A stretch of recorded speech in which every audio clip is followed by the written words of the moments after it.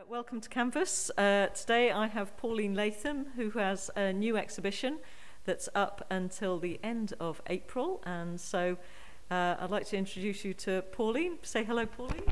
Hello, everybody. Um, and yeah, Pauline would uh, is come in today to talk about her work. So if you'd like us to tell us about your paintings, Pauline, and um, how you started on this series. Um, well, I live quite near Poppit Beach. In fact, I live very near. Uh, so that's where I go, especially when the weather is wild and windy. And I go down and um, I take notes, occasionally use a camera, um, and uh, just come back full of the wind and the sun and the rain and splash paint around on canvases, basically. How long have you been painting for, Pauline? Oh, my goodness. Um, that's really hard to say. Um, I was quite arty at school, um, but then uh, later when I got married, of course, I had four children and so and, and a business to run. So for many years, I didn't do any painting. Um, but then um, in my 50s, I went to art college, and that sent, set me off again. So did you go to art college in Wales, or were you living down here at that point? Oh yes, I've been here 50 years. So, yes, um, I went to Carmarthen Art College, which was a complete revelation. Wonderful lecturers. And yes, I just had a ball. So you've obviously you've got a beautiful touch and a great sense of kind of light and colour, and you really feel the wind and and the rain and in your work. Um, do you find that um, that comes easy, or do you have to really work over pieces when you're Sorry, doing them?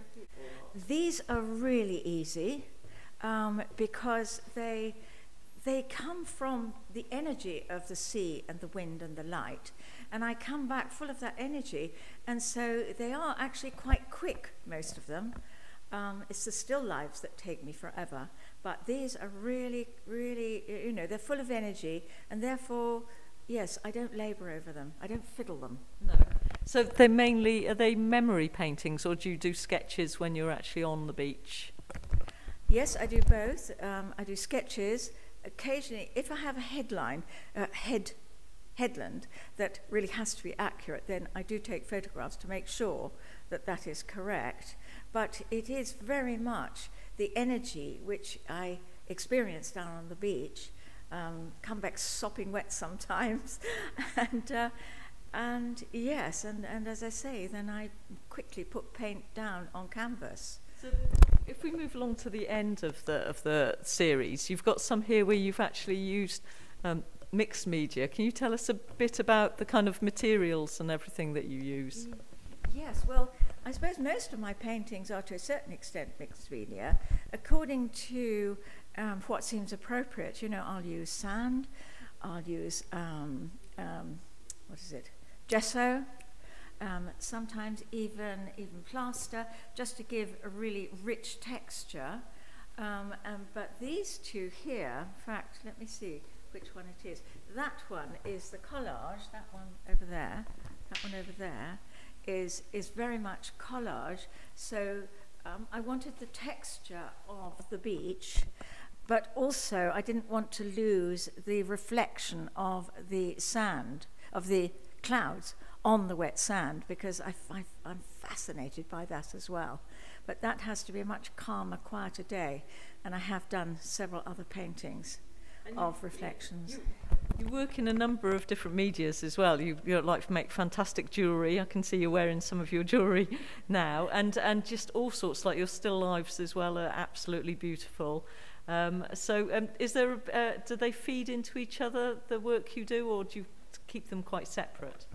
Well, people say that especially the jewellery and my um, these sort of paintings very much feed into one another. Um, I think the still lives, for me, come from a completely different part of me. It's a much stiller, more meditative, quieter part of me, which happened over lockdown particularly. So that's what I focused on a lot because that was what was happening to me at the time. Yeah. They are absolutely beautiful, the the watercolours, and hopefully we'll be having some of those in soon as well. Um, it's not not sorry, still lives, but they're, they're again they're mixed media, but it's a, a different touch you have altogether, isn't there? Yes, yes. Well, i i yes, I'm very aware of that actually, because um, it's very, yes, it is coming from a totally different part of my being actually. Yeah. So that's why they are so different, and they take weeks. Whereas these, I can, you know, paint in a day or day and a half or something. They're very quick Yeah. because a completely different energy Yeah. is coming into them. You see. Well, Pauline's show's on until the end of April, so please try and pop along to see it. And we also always have some of Pauline's work in the gallery to sell. Okay, thanks a lot, Pauline. Thank you.